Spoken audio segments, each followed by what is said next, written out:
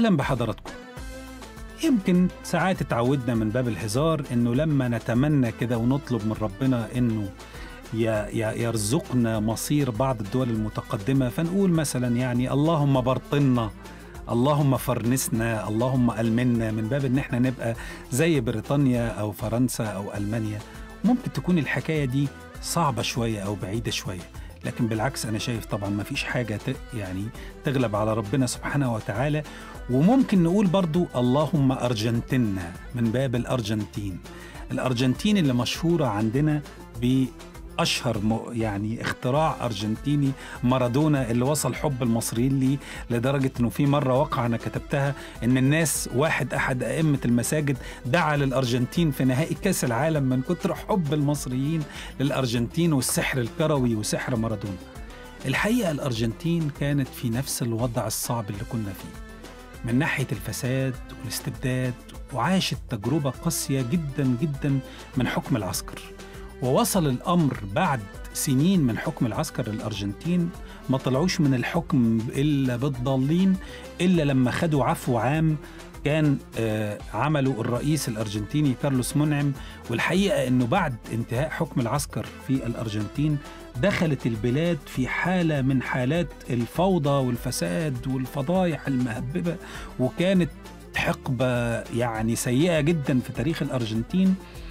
لدرجة إن الناس بدأت تترحم على أيام العسكر وتقول فين أيام العسكر والنبي عايزين حكم العسكر يرجع تاني عشان بقى إيه زهقنا من السياسيين الفسدة وزهقنا من ال- الحالة الصعبة اللي إحنا فيها. لغاية أما جه في فترة من الفترات إدراك عام إنه لأ يا جماعة مش هينفع كده.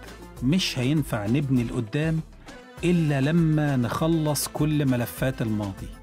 ما ينفعش حد ارتكب جريمة يفلت بيها. لو إحنا عايزين تقدم لازم عدل.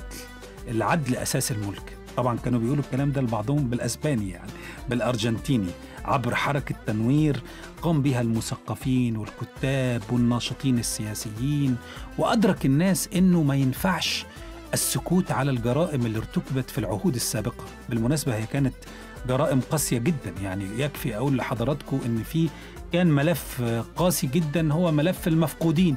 المفقودين في الأرجنتين دول ناس كانوا بيختفوا في ظروف غامضة. زي عندنا بالمناسبة إحنا عندنا عدد كبير من المفقودين في أيام مبارك وحتى في أيام الثورة.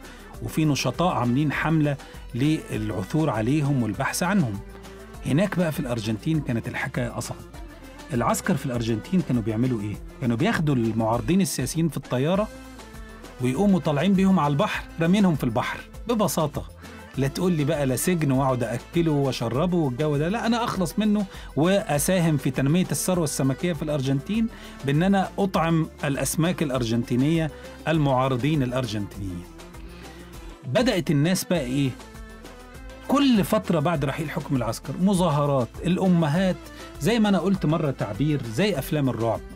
الروح اللي ما بتلاقيش الأمان دي, دي الفكرة الرئيسية في أفلام الرعب. الروح اللي ما بتلاقيش الأمان تفضل قلقة تفضل دايما تدور على العدل على الانتقام لغاية أما تلاقي العدل بتحصل النهاية السعيدة اللي بتشوفوها في أفلام الرعب. الحياة للأسف الشديد فيها نفس فكرة فيلم الرعب.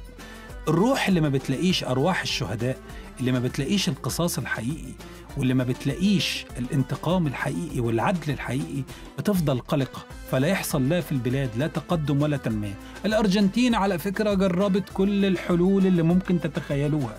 اللي يمكن السادة ال- الفلاحيس الاقتصاد يتخيلوا إنها ممكن آه، مش عارف صندوق النقد قروض إصلاح هيكلي آه، تثبيت آه، شنكلي كل المصطلحات اللي ممكن تتخيلوها. ما شافتش لا خير ولا عدل ولا تقدم إلا لما بدأت تفتح ملفات الماضي. يمكن من أشهر آه، تابعنا حضراتكم أنه الرئيس الأرجنتيني الأسبق جورج فيديلا اللي هو زعيم الانقلاب العسكري اللي بدأ من سنة 76 واستمر لغاية 81 تم إحالته إلى المحاكمة لدوره في قتل 30 معارض يساري خلال توليه الحكم. الإفيه أصلا أن فيديلا أصلا بيقضي عقوبة السجن مدى الحياة على جرائم سابقة كان ارتكبها وبدأوا يفتحوا كل ملفاته برغم أنه واخد عفو رئاسي من كارلوس منعم سنة 90 المحكمة العليا المحكمة العليا. م? المحكمة العليا العليا بجد. ألغت هذا العفو. وقالت إن مفيش حاجة اسمها في الدستور إنك تعفي واحد ارتكب جريمة. إن شاء الله لو كان عنده إيه؟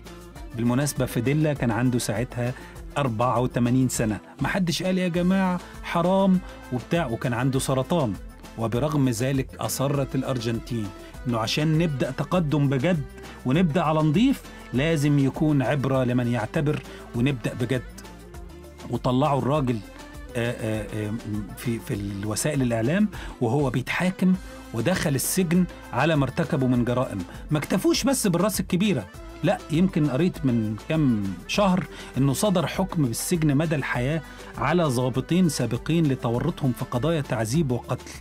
حضرتك قضايا التعذيب والقتل دي وقعت قبل كم سنة؟ قول مثلا وقعت قبل أربعين سنة. بحق عدد من المعارضين.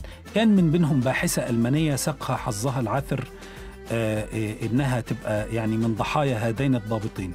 الضابطين دول عندهم كم سنة سيادتك؟ واحد عنده 84 سنة وواحد عنده 81 سنة. ومع ذلك تم سجنهم واتحكم عليهم بالسجن. مدى الحياة اللي هو أصلا مش فاضل منها كتير. واتسجنوا في نفس السجن اللي شاركوا فيه بتعذيب 2500 معارض بين آه، آه، الكلام ده كان حصل بين سنة 76 وسنة 78 والحكم بقى صدر بعد تحقيقات طويلة فتحت ملفات قتل وتعذيب واختطاف 30 ألف معارض على أيدي العسكر في سبعينات القرن الماضي.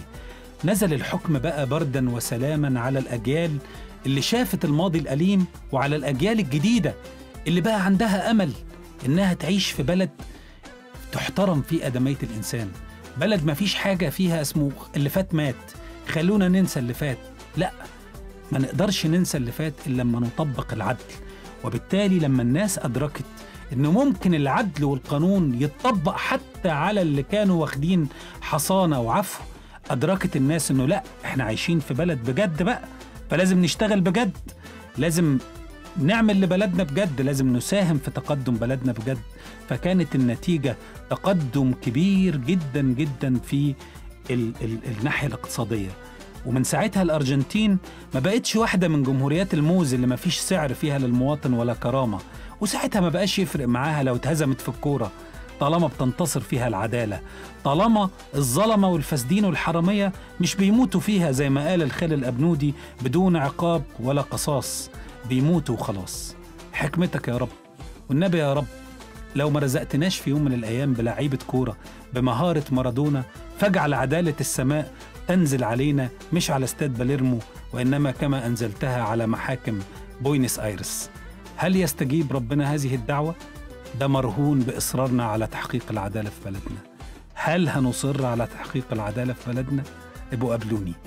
ما أقصدش أسكو وإنما أقصد ابقوا قابلوني بكرة في نفس الميعاد.